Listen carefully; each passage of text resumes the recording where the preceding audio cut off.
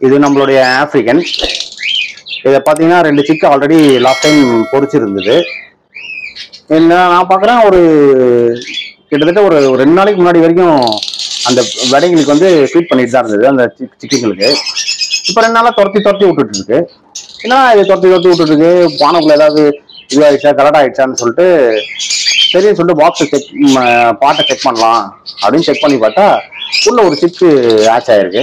ஏன்னா ஒரு லேட்டாக ஆச் ஆயிருக்குமோன்னு பார்த்தேன். இல்லை இதுங்க ஏன்னா நான் லாஸ்ட் டைம் பார்க்கும்போது ரெண்டு சிக்கு பொறிச்சிருந்தது ரெண்டு சிக்கு எக்கு வந்து ஃபெர்டிலைட் ஆயிடுச்சு எடுத்து போட்டேன்.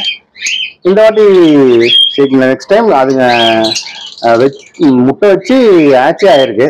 ஸோ ஆப்பிரிக்கன் இவ்வளோ குயிக்காக முட்டை வச்சு செகண்ட் டைம் மேட்ச் ஆகுறதுன்றது ஒரு ஆச்சரியமான ஒரு விஷயமா இருக்குது சரி அது உங்க கூட ஷேர் பண்ணணும்னு ஒரு ஆசை. அதுதான். இப்போ பாருங்க நான் உள்ள ஒன்று சிக்கை காட்டுறேன். உங்களுக்கே தெரியும். இதுதான் அந்த சிக்கு ஆச் ஆயிருக்கு. பாருங்க. எனக்கே ஒரு ஒரு ஆச்சரியமா தான் இருக்கு. ஏன்னா ஆப்பிரிக்கன் வந்து எப்பயுமே அந்த சிக்கை வெளியே அமுச்சு ஒரு ஃபார்ட்டி டேஸ் அப்புறம் தான் வைக்கே வைக்கும். இது என்னடான்னா அந்த குயிக்காக வச்சிருக்கு. உண்மையிலேயே எனக்கு ஒரு ஆப்பிரிக்கன்ல ப்ரீட் பண்ணுறதுலாம் கஷ்டம்வாங்க ஒரு ஈஸியான ஒரு பேர் கிடச்சது ரொம்ப சந்தோஷமாக இருக்குது அது உங்களோட ஷேர் பண்ணணும்னு ஒரு ஆசை. அதான் ஷேர் பண்ணுறேன்